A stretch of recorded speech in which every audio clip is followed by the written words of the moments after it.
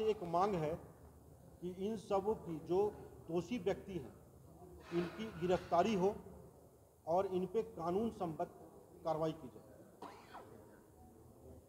चिकित्सकों में डर का माहौल व्याप्त है और माननीय स्वास्थ्य मंत्री जी, स्वास्थ्य विभाग के मुखों से चिकित्सकों की बहुत अपेक्षाएँ हैं।